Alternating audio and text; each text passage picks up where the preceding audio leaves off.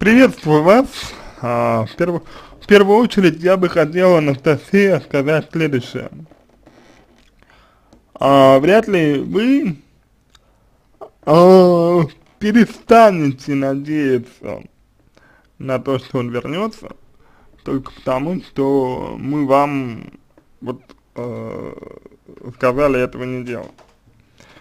А если вы надеетесь на возвращение человека, то, скорее всего, и будете надеяться. Как надеялись, так и будете надеяться.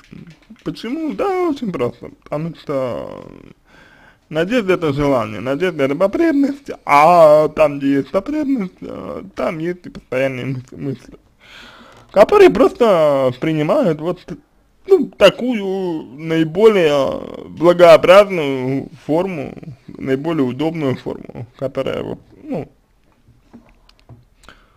который у вас имеет место быть. Поэтому я думаю, что вы э, будете надеяться так или иначе и э, в некотором смысле пребываете в иллюзии относительно того, э, что вы можете отказаться, перестать э, надеяться на э, что-то, на какие-то на какие-то вещи. Это первое. А, второе, а, как, как понять мужчину? А, мужчину надо понимать так, что это собственник, это э, человек с э, болезненным э, самолюбием, болезненным эго, которые окажутся очень сильно задетыми, если вы, если вы будете с кем, с кем если вы будете, ну, и, и грубо говоря, если, если вы начнете с кем-то встреч, э, встречаться, если вы э, начнете с кем-то выстраивать отношения, вот.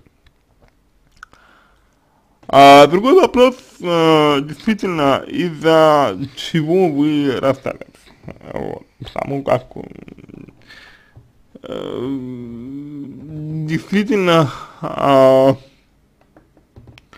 это проблема, потому что вы какие-то действия совершили, вследствие которых э, мужчина, мужчина, мужчина, ну, у вас не получилось выстроить отношения с мужчиной, и несмотря на то, что человек говорит, что он вас не любит, что он, по сути, от вас ушел, вы продолжаете почему-то ждать его возвращения. То есть здесь вы не отвечаете, опять же, за свои желания, которые в том числе э, порождают и надежду надежда, которая, ну, по факту удерживает вас в этом состоянии.